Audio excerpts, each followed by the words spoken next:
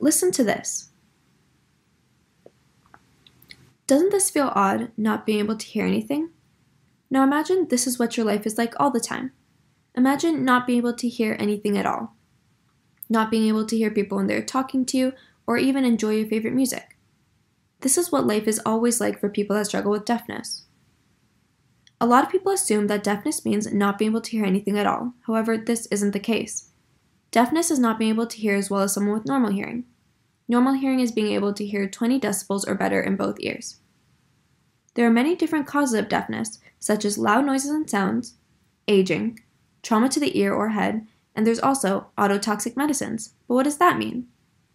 In the infographic, we will touch upon the structure of the ear, how sound is processed, deafness, its relationship to antibiotics and other ototoxic drugs, and a bunch of information about what scientists today are doing to tackle the problem.